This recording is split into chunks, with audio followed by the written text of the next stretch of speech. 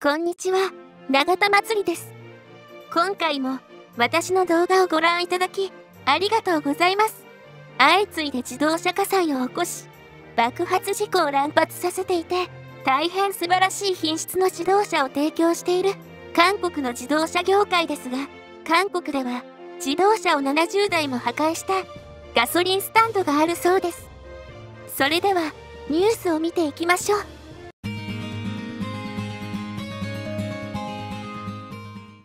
それでは、ニュースの詳細です。チュンチョンナムドコンジュと、ノンさんで故障を起こした車に給油した軽油は、偽物だったことが調査で分かった。当該ガソリンスタンド事業主は姿をくらました。チュンチョンナムド公州警察署は、該当ガソリンスタンドと故障した車から資料を採取し、韓国石油管理員に成分分析を依頼した結果、偽軽油であることが判明したと発表した。警察は、偽軽油を誰が作ったのか、どうやって作ったのかは、ガソリンスタンド事業主らを呼んで調査してみなければわからないとし、現在、偽軽油成分を具体的に明らかにするのは難しいとした。警察によると、最近、ケリョンリョンの A ガソリンスタンドとノンサンシサンウォルミョンの B ガソリンスタンドで軽油を入れた車両のエンジンが切れ、排気ガス低減装置の故障などの現象が相次いで発生した。ガソリンスタンド2カ所でガソリンを入れた車の被害件数は70件余りだ。警察は、ガソリンスタンド2カ所は、オーナー1人が運営していると聞いており、現在行方をくらましていると説明した。インターネットカフェやブログなど、様々なサイトには、被害を訴える書き込みが相次いでいる。2カ所のガソリンスタンドで給油した後、エンジンが止まるなどの故障で、数百万本の修理費がかかったという内容などだ。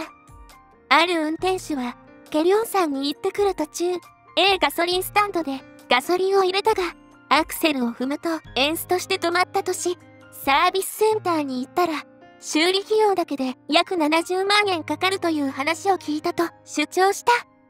警察は、ガソリンスタンド事業主、軽油を供給するタンクローリー運転手と車、事業場代表などを相手に捜査を進めている。警察は、彼らが偽軽油の製作に関与したことが明らかになれば、石油及び石油代替燃料事業法違反の容疑で処罰する方針だ。このガススタンドは営業を中止している。公収支は被害者救済と補償が優先であるだけに、該当ガソリンスタンドの所有者に賃貸保証金を支払わないよう通報するなど対策を立てているとし、捜査結果を見守った後、営業停止と過料などの行政処分を下す予定とした。石油及び石油代替燃料事業法によると、偽石油製品を製造販売する場合、5年以下の懲役または2億ウォン以下の罰金を課すことができる。管轄行政庁は、石油販売業の登録取り消し、営業証の閉鎖、または6ヶ月以内の営業停止などの行政処分が可能だ。これとともに、類似石油製品などを販売運送貯蔵した石油販売業者などに事業停止処分に変えて、20億ウォン以下の課徴金を課すことができる。それでは、ネットの反応です。高速道路で故障したら人命に関わる。他人の命を担保に金を稼ぐ人間は極刑にすべきだと思う。車の運転は自分自身と他人の命とも直結するのですが、こんな車の燃料をもてあそぶ人は本当に悪い人たちです。厳罰と過重処罰で処罰しなければなりません。大型貨物車を走らせ、エンストすると考えただけでもゾッとする。偽ガソリンを作って売ったら5年以下韓国は犯罪者を手厚くもてなしますね。最後までご視聴いただき、ありがとうございました。コメントいただけるととても嬉しいです。